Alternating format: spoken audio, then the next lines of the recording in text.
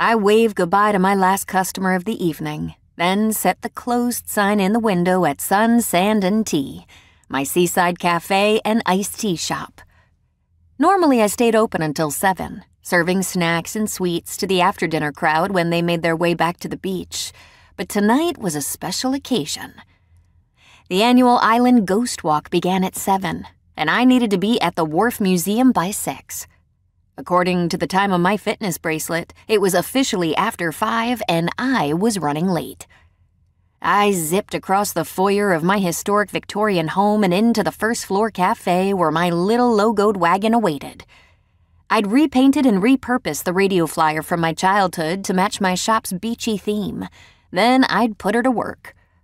Wagon was now a pretty pale blue with curly white letters and peppy pink flowers. She was adorable and a welcomed assistant on deliveries all over town. I loaded several jugs of tea in my most popular flavors onto wagon beside a stack of boxed finger foods, then took a minute to admire the view. The cafe stretched through a good chunk of my home's first floor, filling the space from front foyer to rear deck with warm scents of buttery shrimp, spun sugar, and sweet tea. The previous owner had knocked out a few non load bearing walls, so the newly renovated kitchen spilled seamlessly into the former dining room and a gathering area with floor to ceiling windows. I'd fallen in love with the layout at first sight, then added the final touches after moving in. A little shiplap and wainscoting, fresh paint, and cafe seating had turned the open floor plan into the perfect seaside escape. I'd chosen soft shades of creams and tans, greens and blues to reflect the jaw dropping views beyond the glass. Sand and shells, the sky and sea. With punches of orange and yellow as homage to the unequivocally beautiful sunrises I observed every morning from my deck, usually with the company of a local seagull I called Lou. I flipped off the light with a smile, then headed out to enjoy the evening.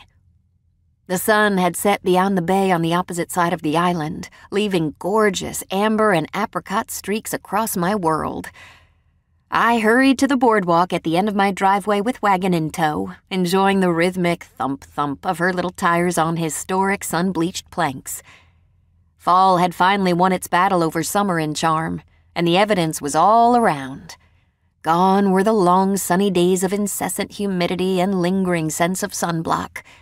Present were the moon at dinner time, the crunch of drying leaves underfoot, and a lingering chill in the brisk autumn air. My little coastal town was part of North Carolina's barrier islands, known to most as the Outer Banks. The sun rose over the Atlantic outside my back door and set over the Sound or Bay. The lighthouse like tower that rose from the third floor of my old Victorian made views of both possible and perfect from inside but the space was consumed by clutter, some as old as the house. And I preferred a first hand account. I inhaled deeply, savoring the moment, then released the breath with a smile. It was good to be home. I'd left the island once, something my great aunts believed swan women should never do. We were cursed, after all, according to family tales and lore. Leaving the island was supposed to end badly for us.